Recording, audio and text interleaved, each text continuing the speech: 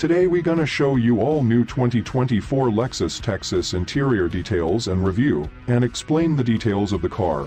We hope you guys enjoy it. Please don't forget to subscribe for more videos. Thanks for watching. New Lexus TX 2024 interior, inside. The cabin is similarly muted, and follows the same visual direction as the recently redesigned NX and RX. It doesn't seem as visually opulent as the QX60 or Genesis GV80 interiors, but it's certain to be executed in the same high-touch materials familiar throughout the Lexus lineup. The TX will also come with all of the automaker's latest infotainment and safety technology, a 12.3-inch cockpit, and a 14-inch multimedia display are standard, with knobs retained for volume and HVAC controls. They work similarly to the screens in the NX and RX, with many voice control options and easy-to-navigate menus. Wireless Apple CarPlay and Android Auto are standard, while options include a head-up display, a 21-speaker Mark Levinson stereo, and customizable ambient lighting. Lexus's Safety System Plus 3.0 will also be standard on all trims including adaptive cruise control, lane tracing assist, forward automatic emergency braking with pedestrian detection and a host of other systems.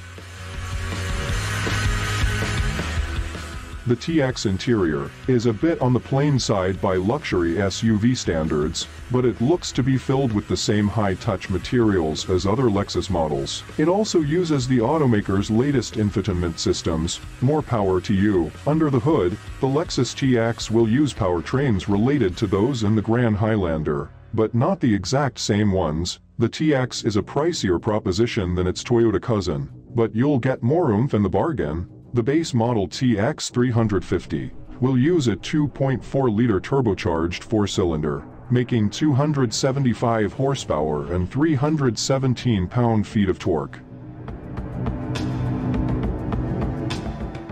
Driven through an 8-speed automatic, a little more than the same engine in the Toyota. Front-wheel drive is standard, with all-wheel drive, AWD, optional, and Lexus says it'll be good for up to 21 miles per gallon combined. Above that is the TX 500H powered by a version of the 2.4-liter turbocharged hybrid engine, seen in the RX 500H, and the Grand Highlander Hybrid Max, combined with its electric motor, it makes 366 horsepower and 409 foot-pounds of torque, and uses a 6-speed automatic. The fuel efficiency here is a claimed 24 miles per gallon.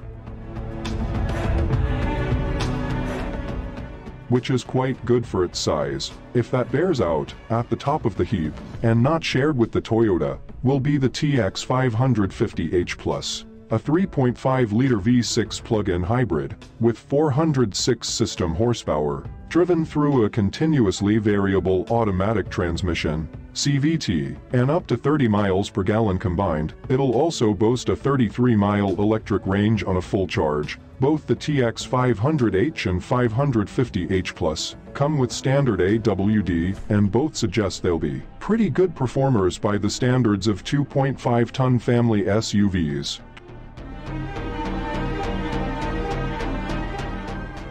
2024 Lexus TX. When and how much? Lexus hasn't yet revealed the TX exact pricing, but we suspect that it'll start in the mid $50,000 range, somewhere higher than the MDX and QX60, but not in the realm of big buck three rows, like the LX or the BMW X7. The TX 500H is likely to be $8,000 to $10,000 pricier, near where the top trim QX60 models top out.